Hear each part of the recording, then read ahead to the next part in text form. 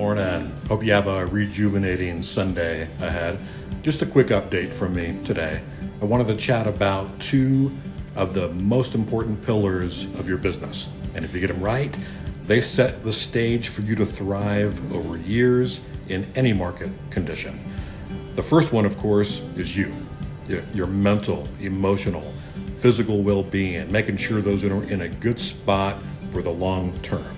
You know, I love talking about those subjects, which is why I send so much content on that. The second is relationships. You know, a, a collection of authentic relationship is the bedrock of building a healthy business. I don't care what type of business you're in.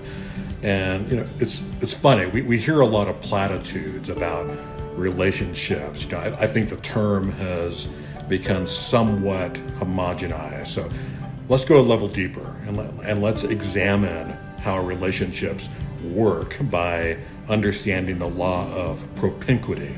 So everything in your life goes through stages of aware, know, like, and trust.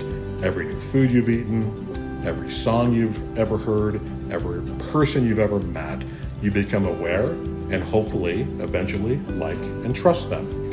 If you can master this and you can maintain a relationship with three to 500 or more people, you'll do dozens of transactions a year from those relationships alone. It is truly the engine and sales of our business.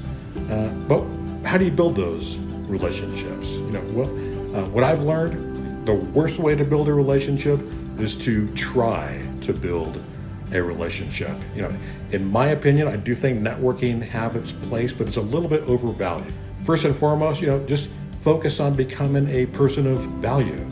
And, and that network, those relationships will be available to you whenever you want. But you're past this. You're, you're already good at building good relationships and earning trust. And NAR data supports this.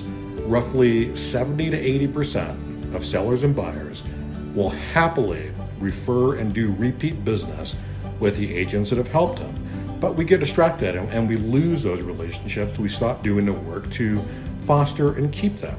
But the truth is, once trust is established, it's pretty easy to keep. It's generally as simple as calling, having a conversation, just being you. You've already earned trust, they already like you. So I wrote my most popular blog post on it. I really examine and go deep on that subject. It's so important. Hope to spend some time with it. I hope you have a wonderful week. Take care. Bye bye.